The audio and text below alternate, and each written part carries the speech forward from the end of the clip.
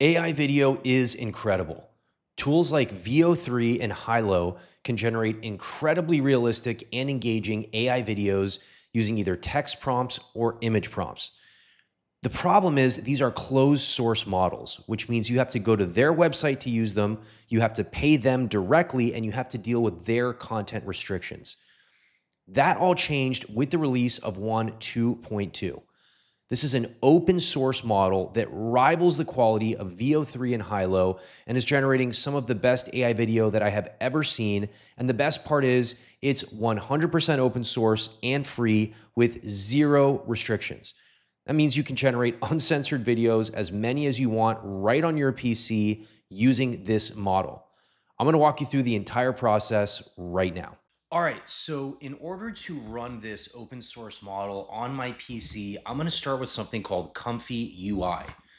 So in order to use this, you're gonna go to comfy.org and you're gonna download it for either Windows, Mac, whatever you have installed. If you have a Windows PC, you are gonna need to have an NVIDIA graphics card or Comfy will not work. If you're using a Mac, you're gonna need an M1, M2, or M3 chip in order to use this software.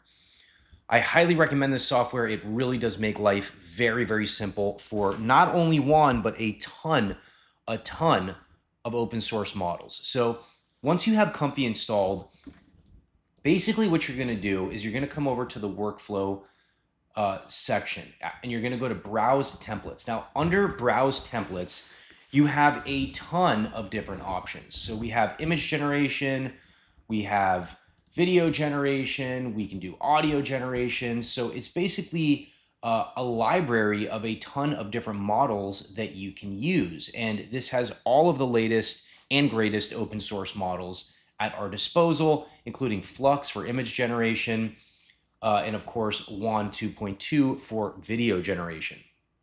So what you're going to do is you're going to start with a template here. This is the easiest way to use this, and this is built right into Comfy.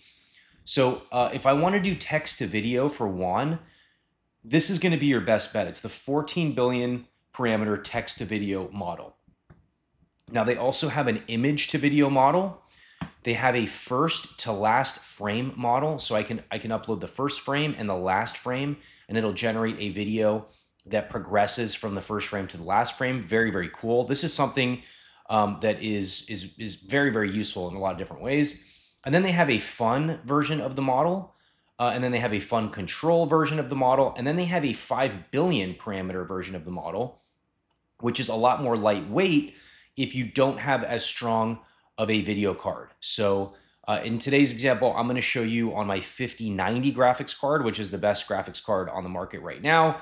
Uh, but if you have a smaller graphics card like a 3070 or a you know 3090 or a 4090 or whatever you have, um, I would definitely say start with 5 billion and then move your way up to 14, although 14 is going to give you uh, by far the best results. Now, one last thing I'm going to mention here is that Comfy has an amazing Reddit uh, subreddit. It's called R ComfyUI. If you are into open source AI, uh, especially generative AI, I highly, highly recommend browsing this subreddit. There is some incredible stuff in this subreddit. Uh, people show you stuff like like this guy showing you segment control within context. So if I want to add a specific person to a specific area of an image, you can do that within context, which is a Flux image model. Um, just tons and tons of really cool stuff here. They give you full workflows uh, for Wan. So this is actually, this one here is pretty cool. It's for a continuous generation. So you can see with this workflow, they're able to get uh, video to go not from the you know because Wan generates five second videos so if i wanted to go from five seconds to 24 seconds um, and generate one continuous video uh, i could do that here as well.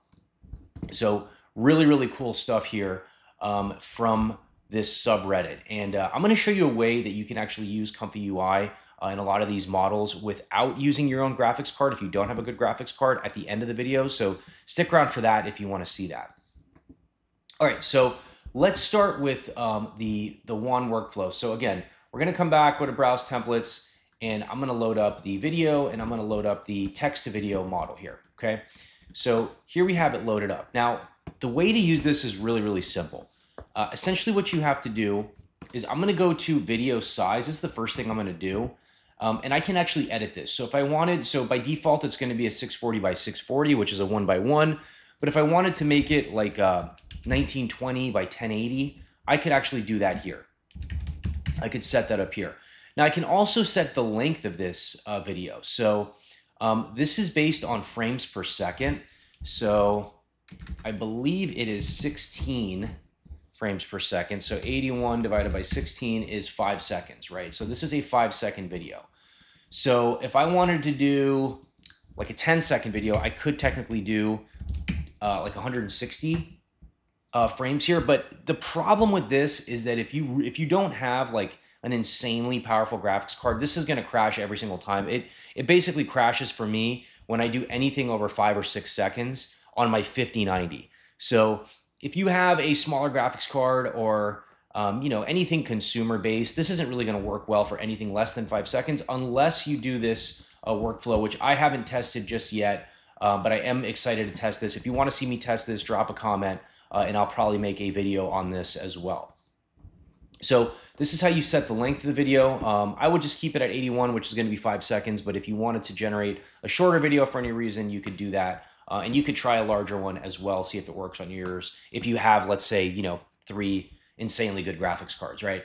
So uh, we're going to ignore the rest of this and we're going to go straight to the prompt. So um, this is the default prompt that comes uh, in this LoRa. So it's it's the the video you see there with the uh, with the girl turning around here, right? That's this prompt right here that generated this image. Um, it also has a negative prompt. This is in Chinese. Uh, I don't know why it's in China. This model is Chinese, so I guess that's why. So I guess I do know why it's in Chinese. But um, I would just, unless you have some negative things you want to add to the prompt here, I would just uh, keep this here or remove this, um, depending on what you want to do. If you want truly uncensored video, definitely get rid of this negative prompt and just add whatever you want to see here. Uh, and again, I'm not going to show you what I was able to generate, but let's just say that uh, anything that you can think of, uh, it will generate for you.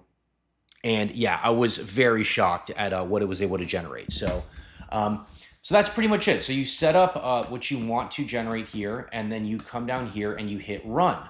Um, and that's going to be it. It's going to basically run in the background here, and it's going to generate a video for you. So I'm just going to hit run to show you what that looks like. All right, so I ran a prompt, and the prompt was a cinematic scene of Batman walking down the streets of New York City at night. And this is what it gave me.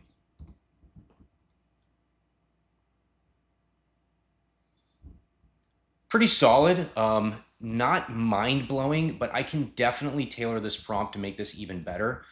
Um, but again, for an open source video model, it is very, very, very good. Uh, so then the other thing you can do is image to video. So I'm going to show you how to do that now. So we're just going to go back to our workflow, browse templates, video, and we're going to do WAN 2.2, 14 billion parameter image to video. Uh, this is very simple. You come here to step two, load image. Again, we're going to skip everything in step one. We're just going to assume that this is set up correctly. And we're going to go to image. I put an image here of uh, Trump and Putin shaking hands here. Um, and then the prompt was just uh, they get up and joke around with each other. And um, this is the video that it generated.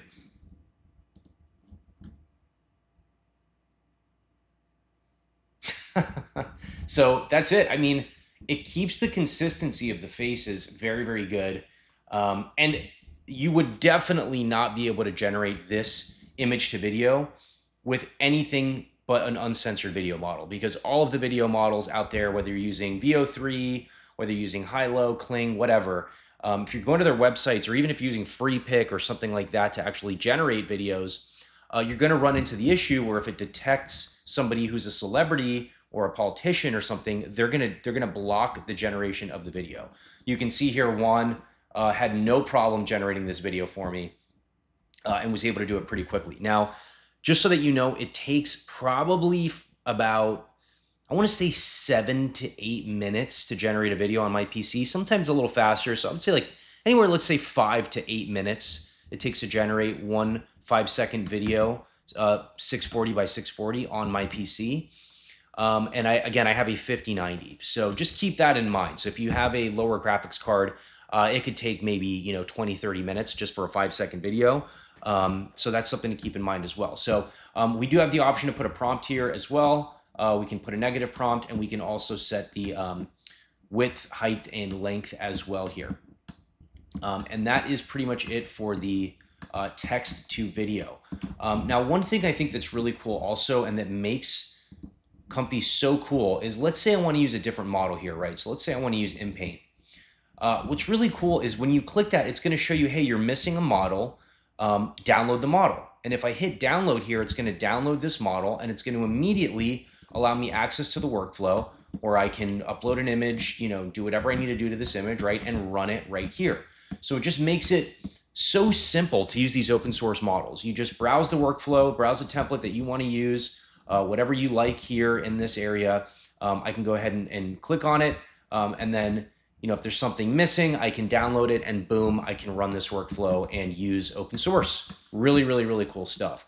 Uh, you can also connect um, Comfy to a virtual graphics card. So you can rent graphics cards uh, online and you can connect to like virtual PCs um, and run it there. Uh, I might do another video on that. If you want to see that, drop a comment as well, and I'll show you how to do that. So another way to run these uncensored generative AI models online is using something called CivitAI.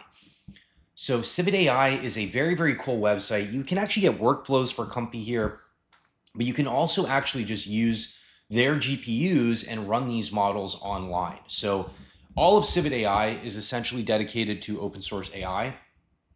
So if I come here to models, you can see some of the popular models. Um, and, you know, a lot of people use this for like NSFW stuff, uh, as you can see here.